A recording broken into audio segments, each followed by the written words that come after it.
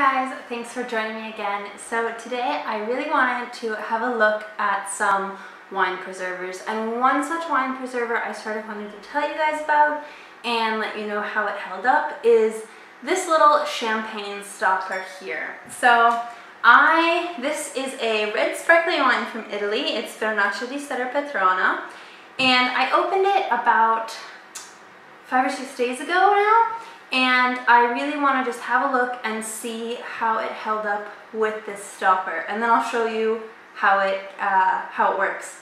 So first to open it we just oof, pop that off. Already just based on that pop looks really good. Let's see how the sparkling held up.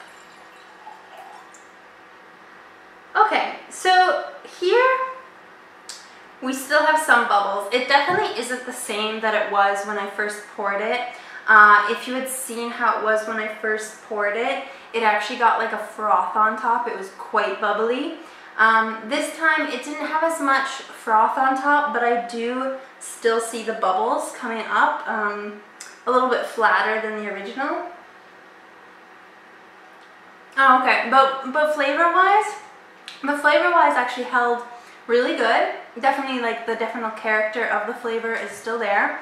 And on the mouth you actually can still feel that sparkling. You can feel the bubbles. It just is not as visually bubbly. So like I said, it's been about five days now that I've had this closed up. So I would say this can hold pretty well. I would probably say if I waited another day or two, this might not have much more bubble to it, but already just six days with a sparkling is actually really great. Um, so I want to show you how this little stopper works. It's a little bit better than some of the other ones I've had. So it actually has double wings to close, and each of these actually has a little, can't really see it, a little lip here.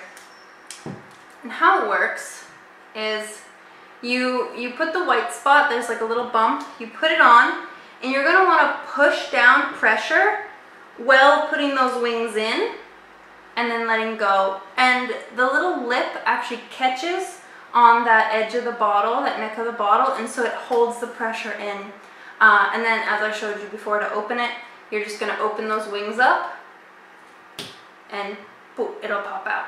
So that is how the champagne stopper works. Uh, I am going to link this specific one I got down below because I think this is a lot better than some of the standard ones I've had before, uh, especially because it has that extra pressure to it.